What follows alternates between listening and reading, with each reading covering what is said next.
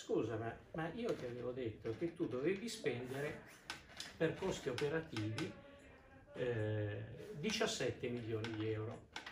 Nel 2021 ne hai spesi 27, ce ne sono 9 milioni di euro in più. Non lo potevi fare. Cioè, il Ruzzo che cosa sta facendo? Praticamente sta distraendo le somme destinate per gli investimenti in somme destinate per i costi operativi e quindi sul personale, sull'esternalizzazione, eccetera, eccetera, eccetera. E questo avrà un effetto negativo perché laddove il, questi costi non verranno più riconosciuti dall'ARERA, l'ARERA abbasserà la tariffa perché dirà a Ruzzo, caro Ruzzo, io ti avevo dato un compito, ti avevo detto di gestire il servizio video integrato con questi parametri, tu non lo stai facendo, pertanto corre restituire i soldi ai cittadini. Quindi ci sarà un abbassamento tariffario perché tu non hai fatto gli investimenti previsti nel piano e il Ruzzo poi con l'abbassamento tariffario riuscirà a mandare avanti l'azienda? E che cosa accadrà dopo? Ecco, è per questo che molti hanno visto questo mio intervento come un attacco, uh, un attacco forse anche politico al, al, al Consiglio di amministrazione, in realtà voleva essere semplicemente un monito, un, intervento uh, costruttivo perché l'andamento del, uh, della gestione del Consiglio di amministrazione deve proprio veramente cambiare altrimenti, come diceva il sindaco, l'affidamento in house noi ce lo possiamo dimenticare. Vedete, in assemblea tutti i sindaci hanno detto eh, convintamente, io su questo sono perfettamente d'accordo, tutti quanti vogliamo mantenere la gestione pubblica dell'azienda, ma per avere in futuro l'affidamento in house ce lo dobbiamo meritare. E se andiamo con questi dati di bilancio, assolutamente non ce lo ridaranno. E questo noi lo dobbiamo evitare. È per questo che il voto contrario del Comune di Cortino aveva proprio questo scopo, cioè sollecitare un cambio proprio nella gestione che deve cercare il più possibile di avvicinarsi a quei parametri, a quei parametri indicati dal piano d'ambito che ci consentirà di dire all'AREA guarda, comunque non sono lontano da quei dati e quindi posso continuare a gestire in house i servizi. Peraltro una, eh, nel, nel, piano tariffario eh, che ha determinato quindi la tariffa si prevedono addirittura ricavi per 43 milioni di euro, mentre, da, mentre il soggetto gestore ne ricava 54.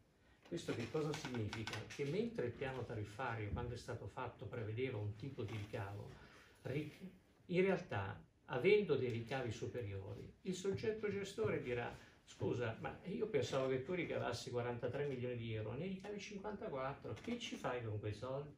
Come li hai impiegati? Ora, tutte queste cose, tutte queste differenze, divergenze, prima o poi questi nodi verranno al pettine. E in questo periodo che manca prima della scadenza della gestione, assolutamente dobbiamo fare degli sforzi per cercare di eh, ovviamente arrivare a, eh, non dico proprio avere i dati coincidenti con quelli del piano, ma almeno ad avvicinarci. In sostanza non si può eh, assumere personale ed esternalizzare i servizi. Cioè abbiamo esternalizzato le letture, il call center, il recupero crediti, l'ufficio legale interno. Tutte queste cose non si possono fare. Due sono le scelte. O si assume e quindi si incorporano i servizi da fare, quindi si fanno internamente tutti i servizi, ma non si può assumere personale ed esternalizzare i servizi.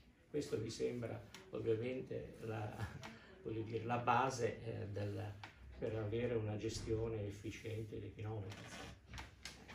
Poi mm, consentitemi di, eh, di replicare ad alcuni interventi che avevano fatto alcuni sindaci e da alcuni articoli di stampa eh, dove in sostanza mi si, mi si addebitava eh, diciamo, un mancato controllo del soggetto de, del Ruzzo quando io ero presidente dell'ATO e quindi mi si accusava in sostanza che in un certo senso i 100 milioni di euro di debiti che attualmente ha il, la soggetto gestore eh, era dipeso anche da un omesso controllo, era sottinteso questo, da parte della, del lato da me presieduto. Ora, questa notizia è destituita proprio di ogni fondamento, ma per una semplice ragione che quando il Ruzzo aveva 100 milioni di euro, io non facevo più il presidente da 6-7 anni almeno, perché ho fatto il presidente del, del lato eh, tra il 2004 e il 2006, e il 2006 e quindi certamente non posso essere, a me non può essere addebitata un omesso controllo sul soggetto gestore. Peraltro la mia presidenza, se vi ricordate e guardate un attimino i vostri archivi, sicur- sicuramente ricorderete che eh, sono stato il primo a fare la revisione tariffaria, proprio a fare quel discorso che adesso farà l'ARERA, abbassando la tariffa perché il soggetto gestore non aveva fatto gli investimenti previsti nel piano e poi si è anche caratterizzata perché vi ricorderete che il, RUZ, il, il sistema acquedottistico era composto da tre società e allora si fece la liquidazione dell'SPT e l'incorporazione delle sue società arrivando a semplificare notevolmente il sistema acquedottistico. Ecco. Grazie Giancarlo.